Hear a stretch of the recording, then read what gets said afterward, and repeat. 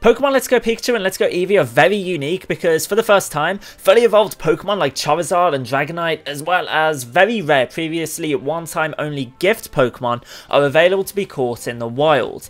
These are called rare spawns and don't spawn frequently like the typical Pokemon you find on each route in normal circumstances. However, once you perform a catch combo of 31, they spawn very, very frequently. This video is going to go over every Pokemon you can encounter as a rare spawn and how to go about doing it. So Let's begin. As I've said, you're going to want to have a catch combo of 31. This is going to make the rarest Pokemon spawn incredibly commonly. Once you have a catch combo of 31, you are free to leave the route you are on and look around the Kanto region for the rare Pokemon you want. For example, I started a Growlithe catch combo on Route 6, went to Route 7 to continue the catch combo, and ended up with a catch combo of 176, and then left the route to explore every route in the game to show you the different spawns spawns. I suggest if you want any of the Pokemon in this video, simply, I don't know, maybe catch combo 31 Caterpie in Viridian Forest, and then go to the route that's home to the Pokemon in this video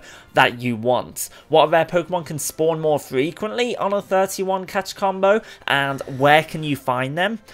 Let's show you. Bulbasaur is the earliest rare spawn Pokemon that you're going to be able to capture, being able to be caught right at the beginning of the game in Viridian Forest. It is quite easy to capture as well, I highly recommend you catching one for your team. Just past Pewter City on Route 3 is where you are going to be able to first encounter Charmander. Charmander is also available on Route 4, as well as the Rock Tunnel. If you want to wait until the Rock Tunnel to be able to capture one that's maybe just a little bit of a higher level, then maybe do that. But if you want to use one on your team throughout the entire course of the game, catch one on Route 3. The final of the three starter Pokemon Squirtle is available to be caught very early on in the game as well, just on Route 24 or Route 25, just above Cerulean City, so you're able to catch it before you take on Misty. If you want to wait until the Seafoam Islands to be able to capture one that's around level 40, so you can evolve it right away, maybe wait for that, as they are also found on the Seafoam Island. What's incredibly, incredibly interesting is that both Hitmonlee and Hitmonchan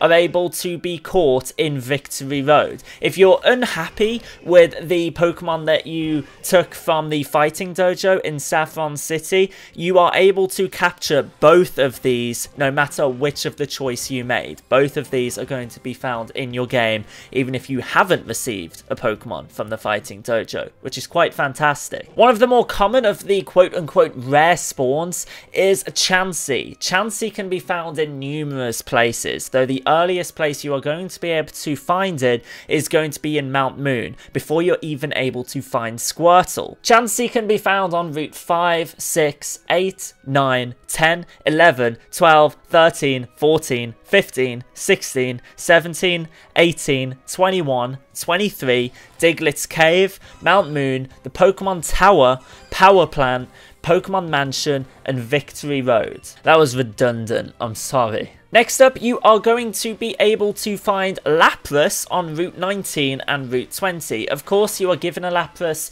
from an employee in the Sylph Co. after saving the company from Team Rocket. But if you want to potentially maybe shiny hunt Lapras, Lapras is going to be found very commonly on Route 19 and Route 20. Just like Lapras, Porygon is a Pokemon that is gifted to you after saving the Sylph Co.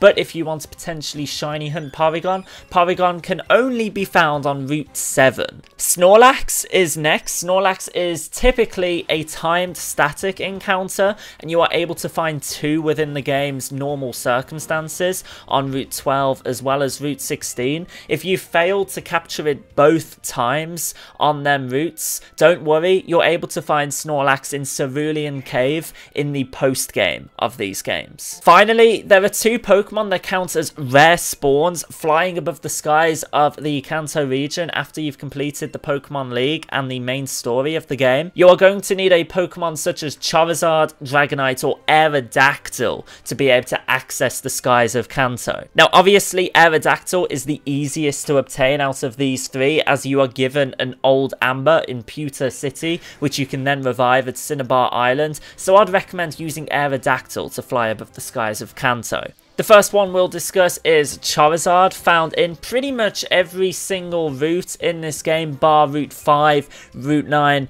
and Route 20. And finally, in this video, is Dragonite. I believe this is the first time that Dragonite has ever been able to be caught in a Pokemon game, which is incredibly, incredibly cool. Please note, Dragonite and Charizard's levels can range between level 3 and level 57. You can have a level 3 Dragonite or a level 3 Charizard, which is just insane. I really, really hope you found this video useful. A like would be really, really appreciated. Subscribe to more of My future Pokemon Let's Go Pikachu, Let's Go Eevee videos. I'm going to be covering everything about these games over the coming days. And yeah, I'll see you guys in the next video.